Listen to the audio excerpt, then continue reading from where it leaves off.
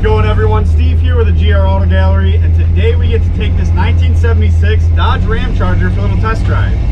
Uh, we're just going to see how it goes down the road and make sure everything's working as it should. So overall the Ramcharger's in really nice condition. Uh, the paint shows very well and the interior is really nice as well.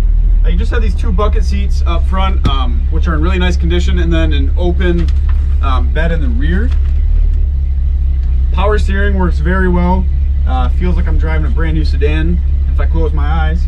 Uh, automatic transmission. I believe it's got four-wheel drive. 60,000 miles on the odometer. You have an aftermarket Kenwood radio. Shifts very smooth. Um, see.